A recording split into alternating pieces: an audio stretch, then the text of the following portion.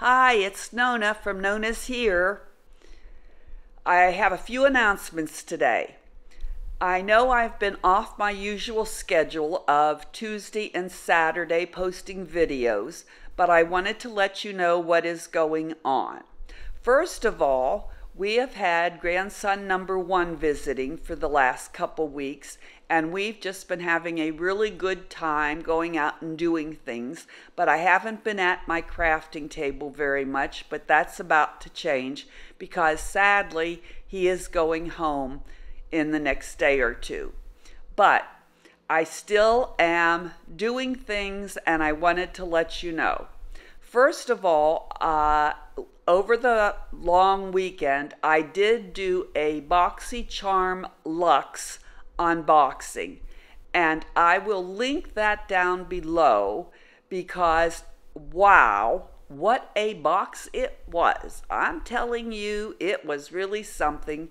And I know you all were probably pretty busy over the 4th of July weekend and you may have missed it, but you don't want to miss this BoxyCharm Luxe unboxing. So if you enjoy that kind of thing, be sure and go back and watch it. On Tuesday, July 13th, I will have a Dollar Tree haul.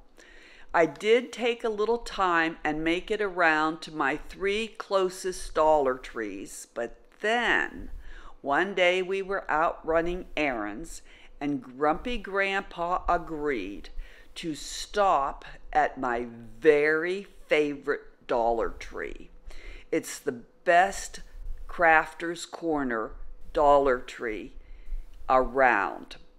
And so we had lots of errands to run, but he agreed to stop so I could go into that Dollar Tree. And oh my goodness, did I have fun!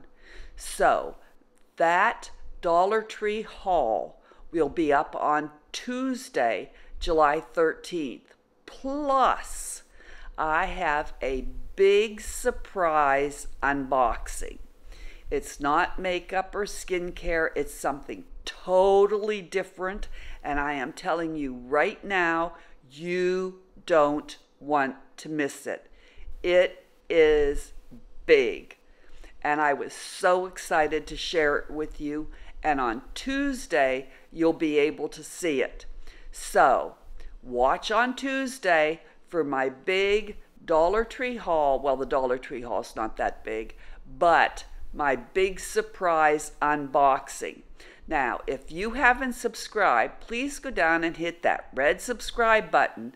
And when the bell comes up, hit the bell and click on all so that you will be notified every time I post a video.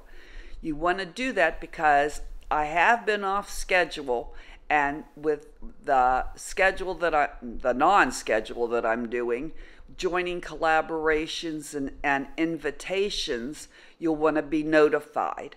Uh, and if you're already subscribed, go down and hit that notification bell so that you're notified.